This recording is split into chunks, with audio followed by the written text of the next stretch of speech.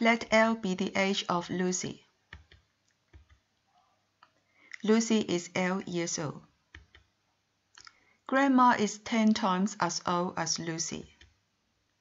Grandma is 10L. The sum of the ages of Grandma and Lucy is 55. We add them up equals to 55. L on one side and number on the other side. L plus 10L is 11L. So 11L equals to 55.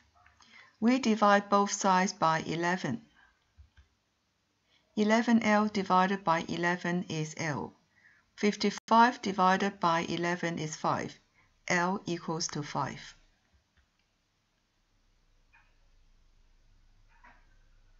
Lucy is 5 years old.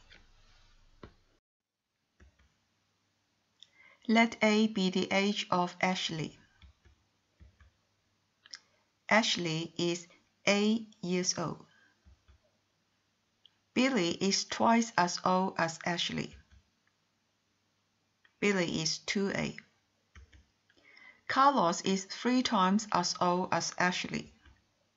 Carlos is 3A.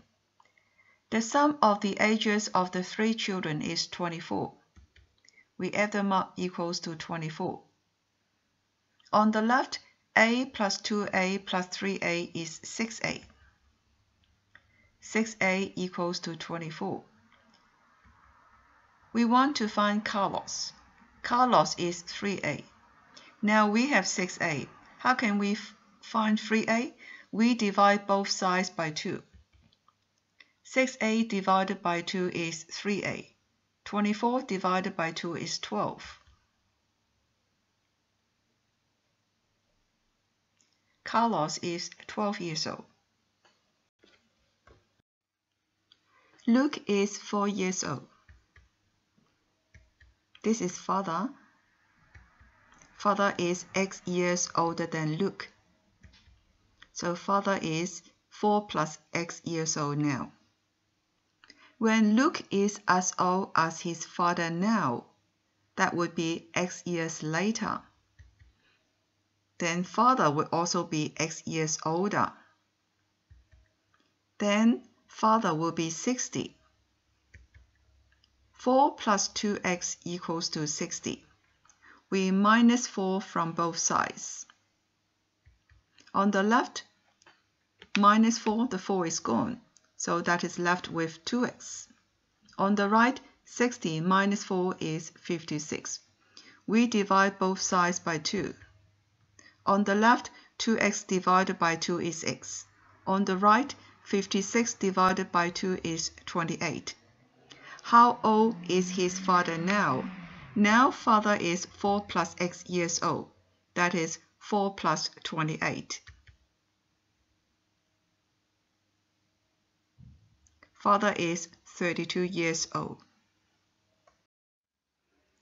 Bob's age is between 40 and 60. Bob's age is a multiple of 7. So last year, and this is now, if now is a multiple of 7, then it has to be bigger than 40. It would be 42, 49, and 56 because it has to be less than 60. Then last year is one years before. So before 42, last year 41. Before 49, it would be 48. Before 56 is 55. Last year, his age was a multiple of 2. So 41, 48, and 55. Which one is a multiple of 2? It is 48.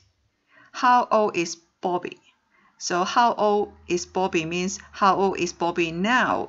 So now is 49. Bobby is 49 years old now.